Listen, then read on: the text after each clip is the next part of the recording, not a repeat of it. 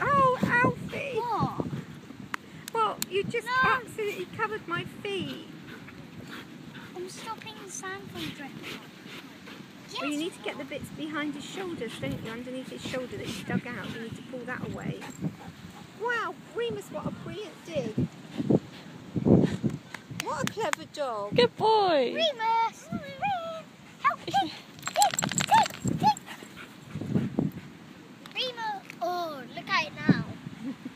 That's because you didn't take all that sand away.